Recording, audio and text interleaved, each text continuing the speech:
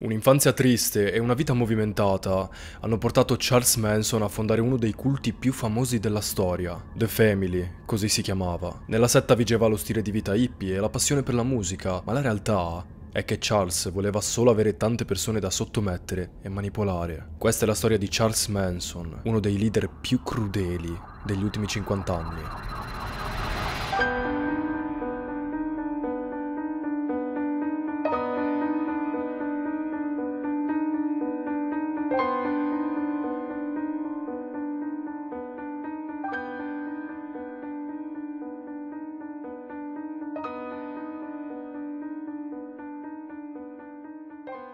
Ciao belli de zio, sono Andrew e anche questo venerdì sono pronto a raccontarvi una storia da brividi. Se vi piacciono le cose oscure, macabre e misteriose siete nel posto giusto perché questo è tutto ciò di cui parliamo qui e la storia di oggi sono sicuro che vi lascerà inquieti e anche un po' arrabbiati. Ne sono sicuro perché mi chiedete di parlarne praticamente da sempre e sebbene sia una storia molto conosciuta è probabile che non sappiate alcuni dettagli. Io in primis conoscevo la storia ma quando mi sono messo a cercare le informazioni per il video sono rimasto decisamente sconvolto da alcuni particolari. Adesso vedrete. Tanto per cominciare, devo dirvi che nel corso del tempo i media hanno fatto davvero tanta disinformazione su questo caso. Dato che stiamo parlando di uno dei criminali più famosi della storia, purtroppo qualcuno ha frainteso alcune cose oppure le ha completamente modificate, esagerate, per renderle più assurde e macabre. Non sto dicendo che io sono la bocca della verità, Anzi, semplicemente è stata fatta un po' di speculazione e qualche esagerazione. Quindi ecco, io cercherò di essere il più oggettivo possibile. Spero di non dimenticarmi niente, ma se tra di voi c'è qualcuno che vuole condividere aneddoti o informazioni in più, è libero di scrivere tutto qui sotto. Detto questo, cominciamo per davvero. Charles Manson nasce a Cincinnati il 12 novembre del 1934. La sua vita inizia in modo molto triste perché sua madre, Kathleen Maddox, in sostanza non lo voleva. Lei a quel punto ha 16 anni, è scappata di casa e vive in modo sregolato. Fa la prostituta e pensa soltanto a bere e a divertirsi. Praticamente non sa cosa farsene di questo bambino e vorrebbe abbandonarlo, darlo in adozione, perché fare la mamma non fa per lei. Diciamo che non gliene frega niente. La sua famiglia però interviene prima che sia troppo tardi e la costringono a tenersi il bambino e a prendersi le sue responsabilità almeno per una volta. E lei, dopo moltissime discussioni, alla fine decide di tenere suo figlio e lo chiama Charles Mills Maddox. Dopo la nascita di Charles, sua madre in qualche modo riesce a risalire al vero padre biologico del bambino. Si tratta di un certo colonnello Scott, ma su internet non ho trovato altro sul suo nome. Sappiamo solo che è un operaio e che lavora presso una diga vicino a Cincinnati. Quest'uomo però, Scott, si rifiuta di occuparsi del figlio e dà tutta la responsabilità a Kathleen. Lei la prende malissimo ovviamente, ma non perché le importasse di Charles o del suo padre biologico, ma perché le dava proprio fastidio avere un figlio a cui badare. Lei, come vi ho detto, voleva solo bere, uscire e divertirsi. Comunque in un modo o nell'altro prova a crescere suo figlio, ma lo fa proprio contro voglia, senza mai mostrargli affetto. Pensate che lo lascia sempre dai nonni e lo vede davvero poche volte al giorno. I nonni fanno quel che possono per lui, ma Charles non li sente come suoi parenti. Il distacco della madre è così forte che il bambino cresce con la consapevolezza di essere indesiderato, di non servire a niente, ma non si deprime più di tanto, anzi intende far qualcosa. Comincia a prendere ad esempio le cose che fa sua madre, ovvero in pratica comincia a vivere anche lui facendo cose estreme e illegali. Kathleen intanto continua a fare come al solito, ma ad un certo punto finisce in carcere a causa di una rapina a mano armata. Charles è ancora piccolo a questo punto e così viene affidato prima dei vicini di casa, poi a degli zii in West Virginia. Praticamente viene spostato da tutte le parti, ma comincia già a sentire una sorta di distacco dalla realtà, per cui tutte le persone che lo accoglievano in casa per lui non valevano nulla. L'unica persona che ammira in quel periodo è sua madre, nonostante sia una persona molto discutibile. Nello specifico ammira quello che fa e vuole seguire le sue orme. Uscita di prigione nel 1943, Kathleen è costretta a occuparsi ancora una volta di suo figlio. Lei purtroppo però rimane sempre la stessa e nonostante sia passato del tempo continua a non volerlo. I due vivono un po' come nomadi, passano la loro vita tra motel e case di fortuna, ma la donna dopo un po' di tempo non ne può più e cerca un modo definitivo per liberarsi di Charles. Cerca un'altra famiglia adottiva o un orfanotrofio e nel 1943 1947 trova quello che fa per lei. Scarica Charles nel Gilbot Home for Boys, un istituto religioso per ragazzi in difficoltà ma lo stesso anno Charles, che ha solo 13 anni, fugge a gambe levate da quell'istituto, perché si dice che lì dentro il personale trattasse molto male i bambini, arrivando al punto di picchiarli in ogni modo e con ogni cosa possibile. E sinceramente non mi stupisco, in quegli anni gli orfanotrofi o comunque le strutture del genere erano davvero terrificanti e sicuramente non facevano passare un'infanzia serena a quei poveri bambini. Ma torniamo a Charles. Una volta fuggito dalla struttura, comincia a commettere piccoli crimini qua e là. Non fa cose orribili o scandalose, ma diciamo che diventa un piccolo delinquente E ragazzi, era ovvio che lo diventasse perché lui aveva conosciuto solo quel modo di vivere, non conosceva altro. E quindi ruba, rapina e distrugge cose altrui. Vive così, o almeno questo fino a quando viene arrestato per il furto di una bicicletta. È importante sottolineare che era già stato fermato più volte dalla polizia, ma aveva sempre trovato il modo di farla franca in non so bene come. E mi sono anche dimenticato di dirvi che ha vissuto con un uomo di nome William Manson, dal quale ha poi preso il cognome. Però non sono riuscito a collocare cronologicamente questo evento, quindi sappiate che da un certo momento in poi cambia cognome e da Charles Mills Maddox diventa Charles Manson, quello che tutti conosciamo. Ma comunque, tornando a noi, Charles viene appunto arrestato per via del furto di una bicicletta e di conseguenza, dato che era minorenne, viene mandato in vari istituti di correzione. Uno psichiatra analizza la sua situazione e capisce in fretta che il ragazzo è tormentato a causa di sua madre. Il rapporto travagliato che hanno avuto e in generale il modo in cui ha vissuto la sua infanzia lo hanno portato ad avere diversi problemi, tra cui un comportamento antisociale. Peccato però che nessun professionista delle dell'epoca sia stato in grado di mettere Charles sulla retta via. Infatti il ragazzo continua a creare problemi anche in questi riformatori. Puntualmente il giovane prova a scappare da ognuna di queste strutture, ma ogni volta viene beccato. E a soli 16 anni si macchia di un reato federale. Praticamente porta un'auto rubata oltre il confine dello Stato e all'interno dell'auto insieme a lui c'erano due prostitute. Per questo viene mandato per l'ennesima volta in un altro riformatorio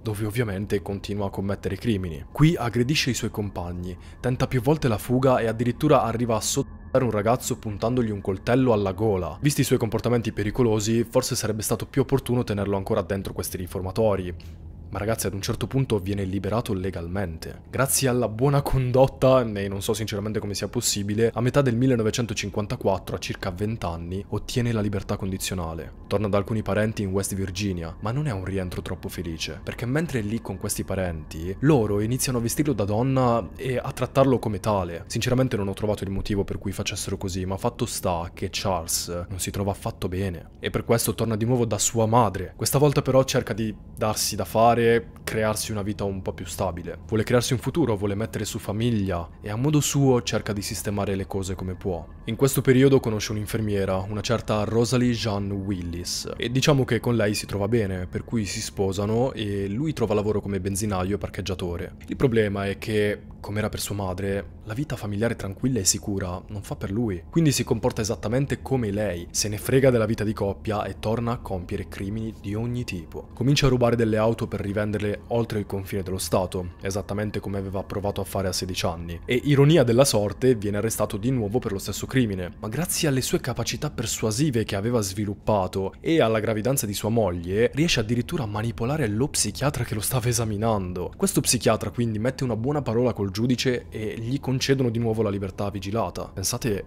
quali abilità bisogna avere per convincere uno psichiatra di determinate cose. È assurdo. Nel frattempo comunque nasce il suo primo figlio, Charles Manson Jr., e di questo figlio si sa davvero poco perché in un certo senso vive una vita forse addirittura peggiore rispetto a quella di suo padre. Non conoscerà mai Charles e purtroppo si toglierà la vita nel 1993. Suo padre intanto continua con i suoi affari loschi e scappa anche dalla libertà vigilata. Ancora una volta però viene arrestato e portato nel penitenziario di Terminal Island dove sconterà una pena di tre anni. Questo periodo di detenzione cambia tutto. È qui che avviene la vera svolta nella vita di Manson. Finora vi ho parlato di un ragazzo che è nato in una famiglia disfunzionale ed è cresciuto senza affetto, quindi era quasi scontato che sarebbe diventato un criminale. Ma questa volta, in questo carcere, sarebbe potuto davvero cambiare. Se in questo punto specifico della sua vita avesse incontrato delle persone buone, disponibili, disposte ad aiutarlo, forse oggi io non sarei qui a parlare di lui. Ma purtroppo, ancora una volta, il destino ha dei piani diversi per Charles Manson.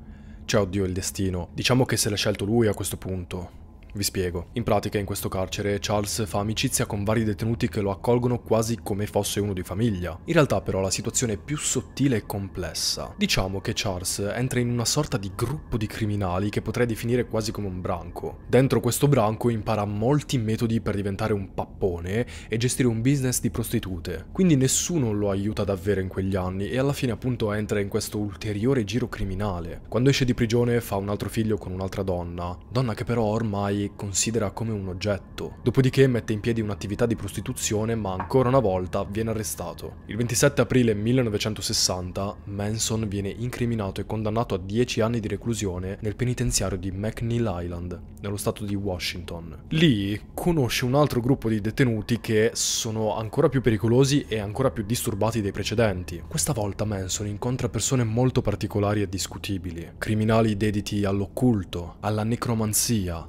all'ipnotismo e alla magia nera. Lui si appassiona a tutte queste cose e comincia a studiarle, ma le persone intorno a lui credono anche a tantissime altre cose, anche a teorie del complotto, per cui gli inculcano tutta una serie di idee e credenze che non faranno altro che tormentare la sua psiche già fragile in partenza. Alcuni di questi detenuti però gli introducono uno stile di vita più libero, costituito da meno crimini. Così Charles Manson viene a contatto con lo stile di vita hippie ma nello specifico viene a contatto con il modo più estremo di essere hippie. Quindi Charles conosce e comincia ad apprezzare uno stile di vita basato sul sesso libero, sul non lavorare mai, sul fregarsene della legge e sul farsi di droghe pesanti come l'LSD. E tutto questo sostanzialmente per apprezzare la vita in maniera più semplice, senza leggi, senza vincoli e senza alcun freno. Grazie o a causa di queste persone che gli spiegano queste cose, lui riesce a diventare anche molto più bravo nel parlare e nel manipolare. Aveva già una dote innata, ma ma in questo periodo la affina in maniera quasi spaventosa. Riesce a diventare ammaliante e a saper conquistare le persone con il suo carisma. Capisce che la vita da semplice criminale non gli basta più, non fa più per lui. Adesso vorrebbe tanto stare in una comunità hippie estrema e vivere secondo il suo personalissimo e distorto schema. E qual è questo schema? Semplice. Trovare dei seguaci e creare una setta. Durante il periodo in prigione, Charles comincia a suonare la chitarra, ma il suo maestro era un membro di una gang pericolosissima. Così Charles scopre il lato più romantico, tra virgolette, della vita criminale, se così possiamo dire. Per cui comincia anche a scrivere testi di canzoni che parlano in modo fatale della vita, e adora scrivere questi testi e suonare la sua musica. In questo periodo si esercita in maniera quasi ossessiva sia nello scrivere testi che nel suonare la chitarra. Non si rende conto però che mentre lui è lì in carcere a scoprire tutte queste cose, fuori il mondo sta cambiando. Manson non vede l'ora di scontare la sua pena, uscire e trovare della gente da manipolare con cui vivere insieme secondo le sue regole, ma appena mette piedi fuori dal carcere nel 1967 si rende conto che non sarà così semplice. Nei sette anni di reclusione di Charles sono successe un bel po' di cose che hanno cambiato profondamente la società. In quel periodo infatti inizia la guerra in Vietnam, c'è il famosissimo discorso di Martin Luther King, poi il 2 luglio del 64 viene approvata la legge sui diritti civili che equipara i neri ai bianchi e infine tutta la faccenda attorno al presidente Kennedy, Insomma, il mondo è andato avanti e per lui è diventato quasi del tutto incomprensibile. Se ricordate, avrebbe dovuto passare dieci anni dietro le sbarre, ma alla fine viene rilasciato su cauzione nel 67, scontandone poco più di sei. Ma una volta uscito, Manson non ha più una famiglia, non ha soldi e neanche un lavoro. Ha solo le sue quattro cose e una chitarra. Per qualche motivo comincia ad odiare gli afroamericani e diventa profondamente razzista. La sua idea di comunità, in sostanza, è composta solo da bianchi, senza eccezioni. Ma oltre a questo, come sono non fosse abbastanza, in quel periodo comincia a considerare tutte le donne come oggetti, per cui comincia a viaggiare un po' per gli Stati Uniti, in cerca chiaramente di donne che gli facessero da serve, e miracolosamente riesce ad attirare qualcuno. Ora ha 33 anni e si reca a San Francisco, considerata in quegli anni la capitale degli hippie. Le prime donne che riesce a manipolare si chiamano Mary Brunner, Lynette Fromm e Susan Atkins. Loro tre sono le prime Charlie's Girls, le ragazze di Charlie. Mary era assistente bibliotecaria prima di conoscere Manson. Lynette invece era scappata di casa, mentre Susan, sentite bene, desiderava tantissimo stare con Charles, al punto da fare l'amore con lui immaginandoselo come suo padre. Si tratta chiaramente di persone fragili che avevano abbracciato lo stile di vita hippie e che erano estremamente affascinate da Manson. In lui vedevano libertà, ribellione e sicurezza. Volevano conoscere tutto di lui, e si fidavano ciecamente perché ai loro occhi lui era l'incarnazione del desiderio, di una vita senza freni, libera dalle norme della società. Le tre ragazze all'epoca sono davvero giovanissime, poco più che maggiorenni, e per tutti questi motivi di cui vi ho parlato decidono di seguire il loro nuovo messia. Si dice che sempre a San Francisco Charles Manson abbia frequentato la sede di Scientology, ma non è una cosa certa. Di sicuro sappiamo che in quella città comincia a partecipare a dei festini in cui tutti si danno alla pazza gioia, vi lascio immaginare. E come potete altrettanto immaginare, si abitua molto in fretta a questa vita da nomade senza regole. In questo ambiente spera di realizzare il suo sogno e sfondare nel mondo della musica. Intanto il suo piccolo gruppo di seguaci si espande. Manson comincia a reclutare anche degli uomini, pochi ma essenziali per il suo gruppo, perché ognuno avrà un ruolo e una funzione specifica. Le nuove adepte donne, tutte rigorosamente bianche, vengono spinte a prostituirsi e credo che non fossero obbligate, cioè Probabilmente, se non l'avessero fatto, Charles si sarebbe incazzato, si sarebbe infuriato come non mai e l'avrebbe punite. Però anche loro volevano farlo in primis.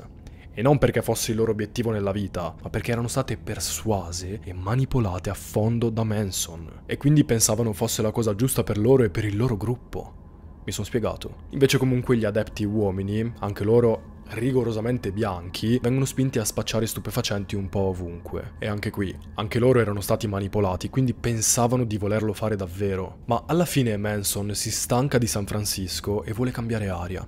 Così convince il suo gruppetto a viaggiare on the road su un vecchio autobus scolastico ridipinto interamente di nero. E una volta partiti, comincia finalmente a stare davvero bene, come non si era mai sentito in tutta la sua vita. È un periodo meraviglioso per lui perché è riuscito a trovare il suo posto nel mondo. O meglio, è riuscito a crearselo. È un posto nel mondo molto particolare e pericoloso, ma a lui va bene così.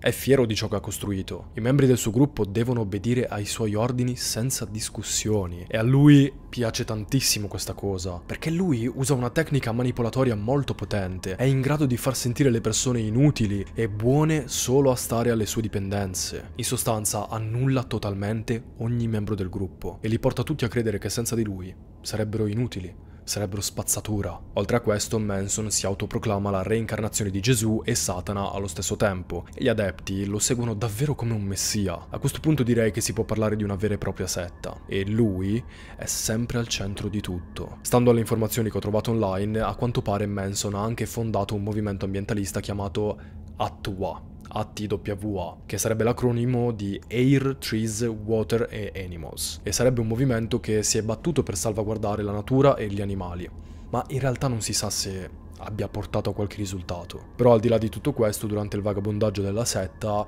il leader diventa di nuovo padre, e da questo punto in poi continuerà a fare figli. Non sappiamo nemmeno il numero esatto. Verso la fine del video vi parlerò di uno di loro nello specifico, ad ogni modo, ricordate il sogno più grande di Manson? Lui voleva sfondare nel mondo della musica e durante il vagabondaggio non si è mica scordato dei suoi obiettivi.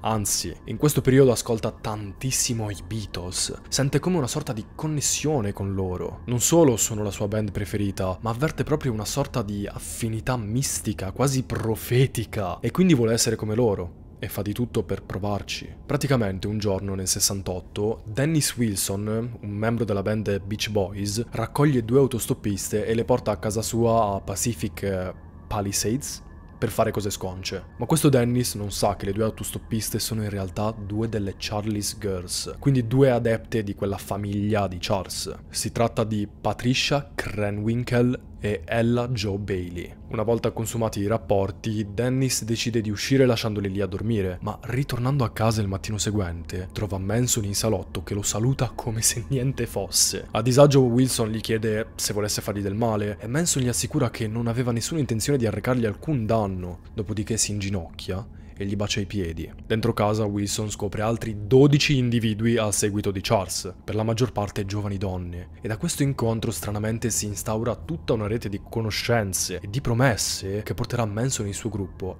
a stazionare per mesi a casa di questo membro dei Beach Boys. Il leader ovviamente approfitta di questa nuova opportunità per farsi conoscere nel mondo della musica, quindi parla con i Beach Boys e con tutto il loro team per ascoltare i suoi brani e registrare dei pezzi. Dennis Wilson inizialmente è davvero entusiasta entusiasta di lui, della sua musica e anche della sua strana family. Non solo gli fa registrare la demo di una canzone a sue spese, ma vuole anche girare un documentario su di lui e sulla sua setta. Così gli presenta alcune persone del settore per introdurlo nell'ambiente, inclusi Greg Jacobson, Terry Melcher e Rudy Altobelli il proprietario di una casa che aveva affittato all'attrice Sharon Tate e a suo marito Roman Polanski. Il primo, Jacobson, avendo fiducia sulla musica di Manson, lo fa registrare in studio. Melcher invece è molto meno impressionato dal suo talento e in sostanza prova a distruggere i sogni di Charles. Dennis Wilson in tutto ciò è molto di supporto e decide di includere una canzone di Manson nell'album dei Beach Boys chiamato 2020 del 1969. Inizialmente e secondo consiglio di Manson stesso, la canzone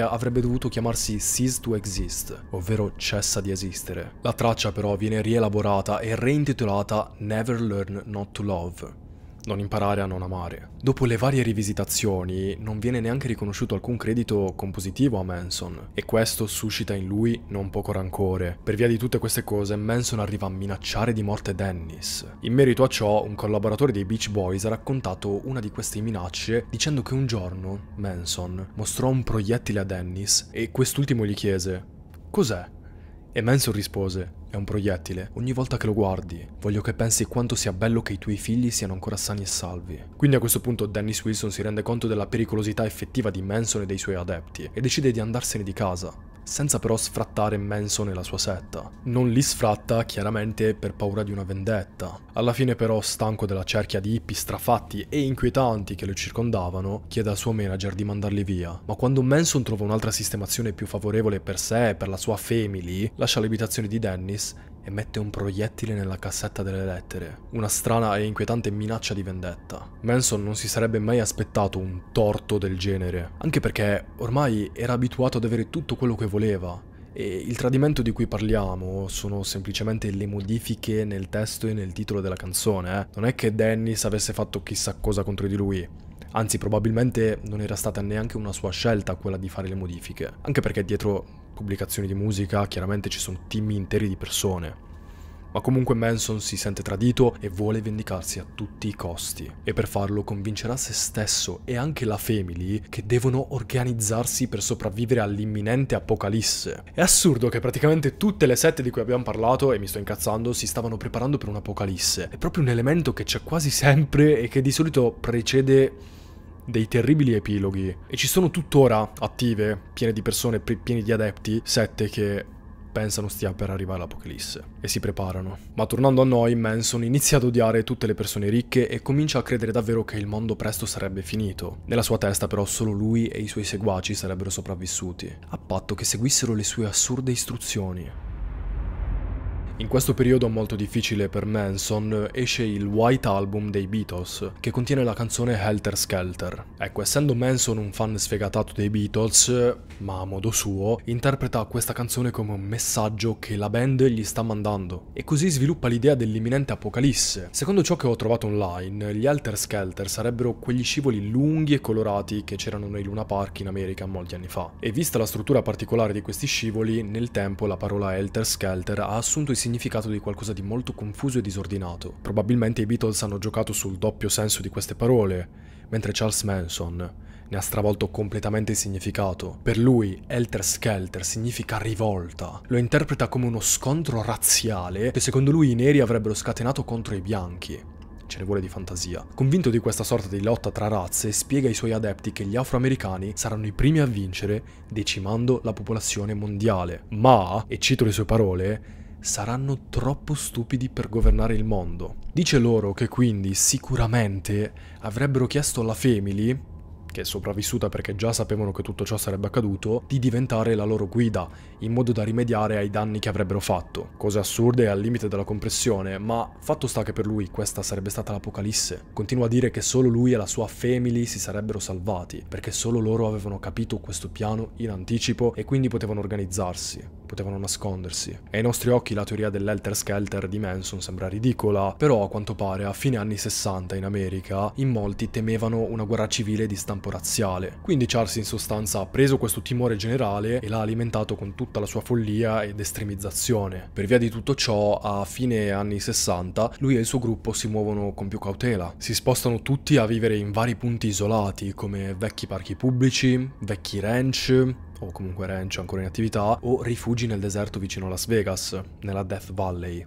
Valle della Morte. Tutti sono obbligati a cantare solo ed esclusivamente canzoni di Manson e dei Beatles a ripetizione. E per farvi capire quanto ormai fosse malata la situazione, tra una canzone e l'altra, Charles ogni tanto inscenava la sua crocefissione e predicava come se fosse Gesù. Ma comunque, oltre alle solite attività criminali, la Family in questo periodo si macchia di sangue e compie il suo primo delitto. Come vi ho detto, Manson attendeva l'apocalisse, ma dato che non scoppiava, o comunque non c'erano segni evidenti dell'inizio di una guerra razziale, decide di farla cominciare lui. E lo fa con il primo di numerosi omicidi. Tutto comincia la sera del 25 luglio 1969, quando gli adepti Bobby Beausoleil, Susan Atkins e Mary Brunner si presentano a casa di un certo Gary Hinman, un musicista. Questo Gary, in passato, aveva venduto della droga alla Manson Family, che a sua volta l'aveva rivenduta ad un gruppo di motociclisti molto pericolosi, gli Straight Satans. Questi ultimi, dopo aver usato le sostanze, si sono lamentati con Bobby Beausoleil dicendogli che era roba scadente e che volevano indietro i soldi. Così l'adepto ha informato Charles Manson che gli ha ordinato di andare dal fornitore originale, Gary Hinman, per chiedergli i soldi da ridare agli Straight Satans. Così, nella sera del 25 luglio del 69, Bobby e le altre due adepte si presentano a casa di Gary e cominciano a chiedergli soldi. Lui però dice di non averne e in sostanza non può aiutarli. Così Beausoleil avverte Manson che ordina ai seguaci di rimanere a casa con Gary e tenerlo legato finché non sarebbe arrivato. Passano due giorni, durante i quali i tre adepti continuano a fare pressioni sulla vittima per questi benedetti soldi, lo picchiano anche, non è che stanno fermi. Quindi finalmente arrivano ad una sorta di conclusione, quando Gary dice che avrebbe potuto dare loro una delle sue macchine che, a loro volta, avrebbero potuto dare agli Straight Satans. Ma purtroppo questo accordo non sarà abbastanza. Il 27 luglio Manson arriva nell'abitazione e, usando una spada, motta un orecchio a Gary, dopodiché ordina a Beausoleil di ucciderlo e quest'ultimo lo fa, cominciando a puntarlo senza sosta. Dopo averlo ucciso, e qui ci ricolleghiamo all'Apocalisse, Beausoleil scrive su una parete Political Piggy, ovvero porcellino politico, e lo scrive usando il sangue della vittima. Poi, sempre col sangue, lascia un'impronta simile al simbolo delle Pantere Nere, che sarebbe un'organizzazione politica afroamericana. Capite dove vogliono arrivare? Manson vuole che la polizia veda il simbolo e che pensi siano stati le Pantere Nere, a compiere l'omicidio. In questo modo sarebbe iniziato l'Elter Skelter, ergo, secondo Manson, l'Apocalisse. I piani però non vanno come previsto e il 6 agosto del 69 Beausoleil viene arrestato. Era stato fermato alla guida dell'auto di Gary Inman e la polizia aveva trovato l'arma del delitto nel bagagliaio. Ma la Family non si scoraggia e anzi è più unita che mai. Per questo cercano di escogitare un modo per far uscire Beausoleil dal carcere. In sostanza quindi che cosa avviene in mente alla mente geniale di Manson? Di compiere altri omicidi. Manson pensa che commettendo altri crimini e omicidi, siglandosi come pantere nere, sarebbero riusciti a scagionarlo, perché lui era in prigione e quindi non sarebbe potuto essere colpevole né di questi né di conseguenza del primo omicidio. Nella sua testa la polizia avrebbe pensato che sarebbero per forza stati degli afroamericani e così il suo adepto sarebbe uscito e i suoi piani si sarebbero compiuti decisamente folle. Ma lui è convinto di tutto ciò, per cui si mette a cercare il suo prossimo bersaglio. Pensa a qualcuno di ricco che odia profondamente e gli viene subito in mente un nome. Terry Melcher. Se ricordate, Terry era uno di quei produttori che Manson aveva conosciuto durante il suo soggiorno da Dennis Wilson, ed era proprio quello che aveva rifiutato di pubblicare la sua musica. Charles lo odiava, ma non doveva per forza essere lui la vittima del prossimo omicidio. L'importante era che fosse qualcuno di benestante la cui morte avrebbe suscitato scalpore, sempre con l'obiettivo di dare la colpa agli afroamericani e far cominciare l'apocalisse. Così Manson, pensando a Terry Melcher, si ricorda dove abitava e si ricorda anche che a marzo dello stesso anno, del 69, era stato in quell'abitazione. Ma durante la sua visita, Terry non era più lì il che significa che era solo in affitto. La casa infatti era di proprietà di Rudy Altobelli e i nuovi inquilini erano Sharon Tate e Roman Polanski. Per cui il bersaglio di questo piano malato si sposta da Melcher a chiunque vivesse in quella casa al 10050 di Cielo Drive. Così, solo due giorni dopo l'arresto di Beausoleil, Manson raduna tutti i membri della sua setta e dice queste esatte parole. Ora è giunto il tempo dell'Elter Skelter. Ed è in questo modo che ebbe inizio quello che ora tutti ricordiamo, tristemente, come l'eccidio di Cielo Drive. Roman Polanski, famosissimo regista, nell'agosto del 69 si trova a Londra per la realizzazione di un film, ma ha in programma di tornare a casa di sua moglie nel giro di qualche giorno. da sua moglie, non di sua moglie, perché Sharon Tate è incinta da più di otto mesi e sta per partorire. Il venerdì 8 agosto del 1969, quindi, Sharon invita alcuni amici a dormire da lei nella villa di Cielo Drive. Questi amici sono Jay Sebring, un hairstylist di fama internazionale, nonché suo ex fidanzato con cui è rimasta in ottimi rapporti, poi Abigail Folger, famosa filantropa, insieme al suo compagno Wojtek Friakowski, credo di averlo pronunciato male. Comunque sono tutti persone benestanti che vogliono godersi un tranquillo venerdì sera, ma Charles Manson ha in mente dei piani diversi per loro. Tuttavia questa volta non vuole intervenire in prima persona e manda quattro dei suoi adepti, Tex Watson, Susan Atkins, Patricia Krenwinkel e Linda Kasabian. Sono tutti vestiti di nero e armati di pugnali, una corda di nylon e una pistola calibro 22. Arrivano di nascosto alla villa di Cielo Drive, ma vedono che nel vialetto c'è un'auto parcheggiata. Al suo interno c'è un giovane, una persona che neanche era prevista nel piano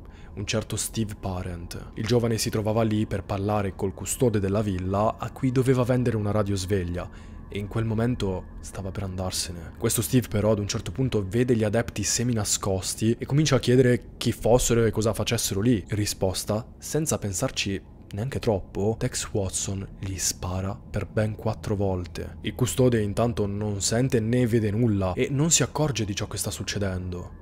Quindi Tex, indisturbato, per impedire che qualcuno chiedesse aiuto, si mette a tagliare i fili del telefono. Poi entra nella villa da una finestra e apre la porta di casa agli altri suoi compagni. Linda, una del gruppo, resta in auto perché è l'unica in possesso di una patente regolare e in questa missione serve solo come supporto non appena dovranno scappare. Ma comunque è passata a mezzanotte, perciò è ufficialmente il 9 agosto. Boschtek, uno degli amici di Sharon Tate, sta dormendo sul divano in salotto, ma all'improvviso si sveglia a causa di rumori sospetti. Davanti a sé trova Tex Tex e confuso gli chiede chi fosse e che ore fossero. Lui in risposta gli dice di essere il diavolo venuto a fare il lavoro del diavolo.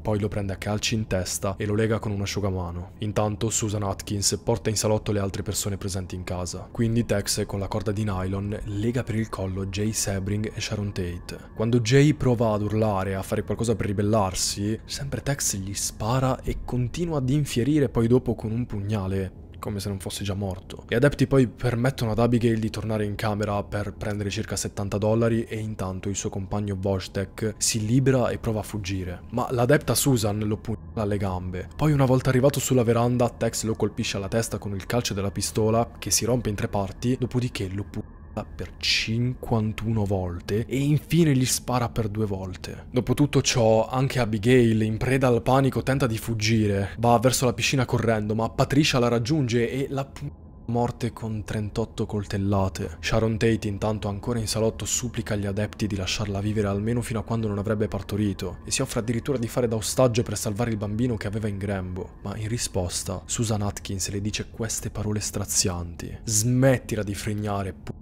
Non ce ne frega un cazzo che sei incinta. Poi, insieme a Tex, la pugnala per 16 volte, uccidendo sia lei che il bimbo che aveva in grembo. Aveva solo 26 anni. Con un asciugamano sporco del suo sangue scrivono la parola pig, maiale, sulla porta d'ingresso e una volta terminata la strage gli assassini raggiungono Linda in auto. Sulla via del ritorno si cambiano e buttano coltelli e vestiti sporchi di sangue in giro per le colline circostanti.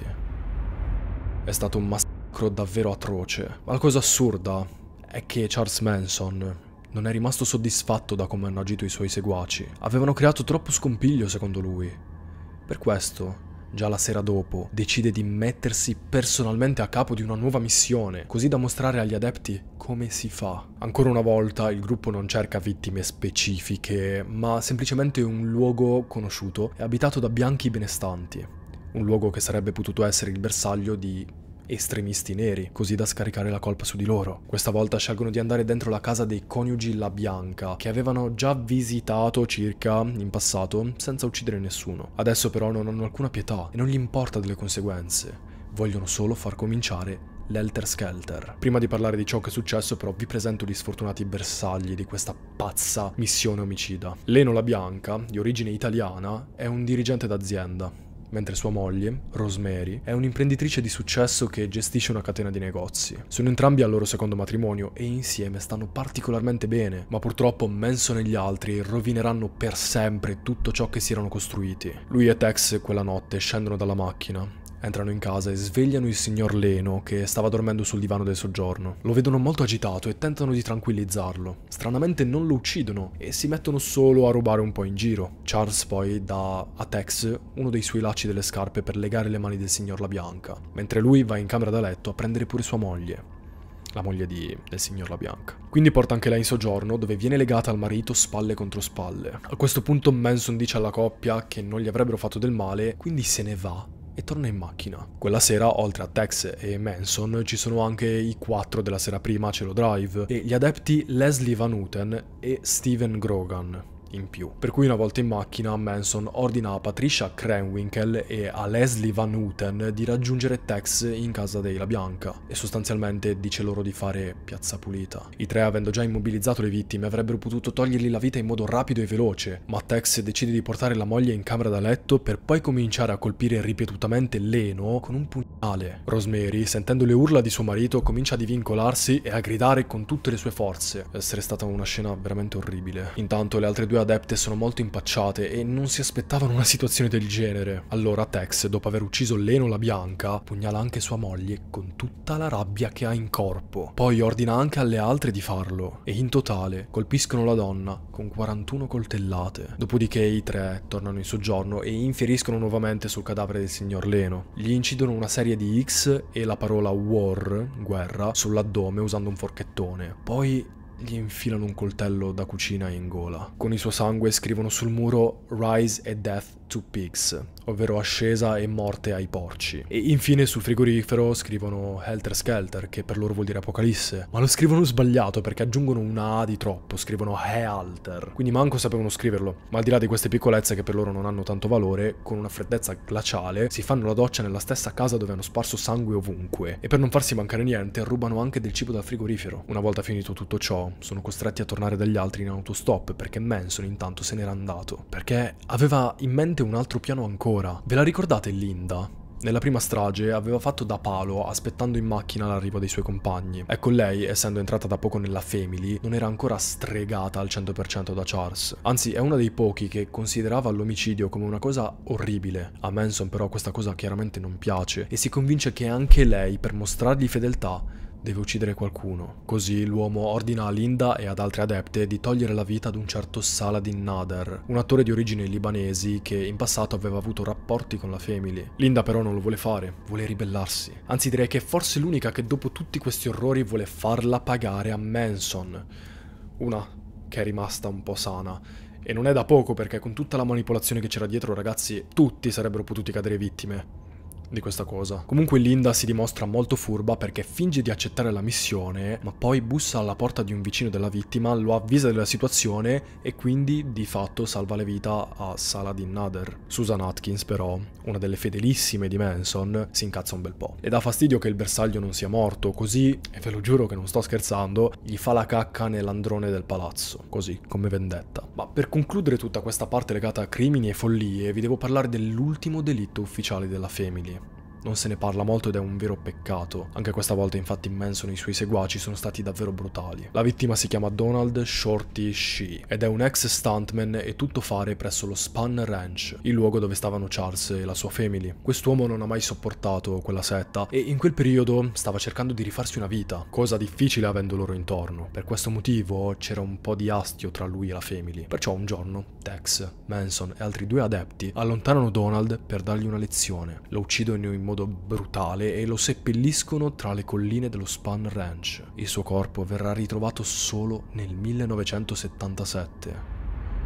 Dopo una ventina di giorni dall'ultimo delitto, tutta quanta la setta si trasferisce di nuovo. Per anni sono stati in giro tra Messico, Nevada, Arizona e Nuovo Messico, mentre adesso si stabiliscono nella Death Valley, il parco nazionale della California. Creano un vero e proprio accampamento con tende, strutture di fortuna e cose del genere, ma durante questi spostamenti, e già durante i primi delitti, i detective stavano lavorando duramente per risolvere tutti i casi. E solo dopo un po' di tempo capiscono che devono cercare una persona sola, una persona che controlla tutto un gruppo. Per molto tempo hanno pensato che i delitti della Family fossero tutti diversi, compiuti da persone diverse e con moventi diversi. Ma alla fine, dopo tantissimo lavoro, gli agenti capiscono come sono andate veramente le cose. Fanno irruzione al parco in cui vive la Family e per l'ultima volta Manson viene arrestato assieme alla maggior parte dei suoi discepoli. Per molti questo mega arresto di gruppo è stato uno shock perché sì, qualcuno conosceva Manson e tutto ciò di losco che girava intorno a lui, ma la maggior parte delle persone non si sarebbe mai aspettato tutto ciò. Anche Susan Atkins viene arrestata e viene portata al carcere femminile di Los Angeles.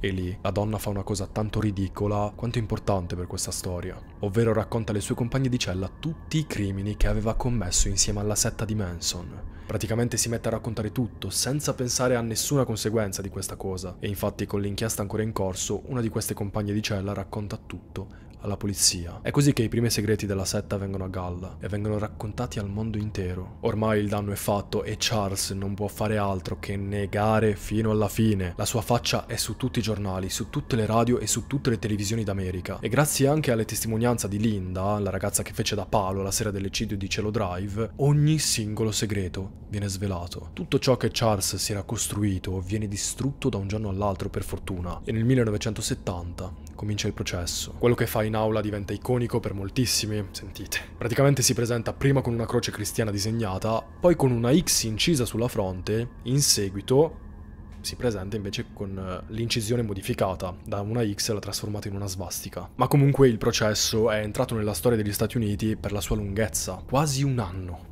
Lui infatti nelle varie udienze continuava a dichiararsi innocente, ma ecco che Susan Atkins rivela una cosa ancora più scioccante. Dice che Charles aveva in programma di uccidere persone famose nello show business, come Liz Taylor, Steve McQueen, Tom Jones, Richard Barton e persino Frank Sinatra. E insomma, dopo un processo veramente allucinante, alla fine il 29 marzo 1971, Manson e gli altri membri accusati vengono condannati a morte. Questa dovrebbe essere la fine del caso, in teoria. Tutto poteva concludersi così, ma ci sono altre cose che devo dirvi, delle novità che nessuno si aspettava. Un anno dopo la condanna, solo un anno dopo, lo Stato della California abolisce la pena di morte, così Charles e gli altri si ritrovano con una pena modificata, con l'ergastolo. Quindi dovranno restare in prigione a vita. Ma ovviamente Manson non accetta niente di tutto ciò e come è fuggito altre volte quando era giovane, pensa di poterlo fare anche adesso. Continua a chiedere la libertà condizionale, ma puntualmente gli viene respinta. E ragazzi, lui continua imperterrito a richiederla ogni volta che può. Pensate che il 25 maggio del 2007 arriva all'undicesima richiesta di libertà vigilata, che però chiaramente viene respinta. Lui però ci riprova un'ultima volta nel 2012, fallendo miseramente. E arrivati a questo punto, dopo tutto quello che è successo e dopo tutto quello che vi ho raccontato, voglio farvi vedere una brevissima intervista fatta a Manson mentre era in carcere. Con queste pochissime immagini capirete che tipo di persona era. People look at you today, 20 years later, and they still have no idea what you're about. Tell me in a sentence who you are.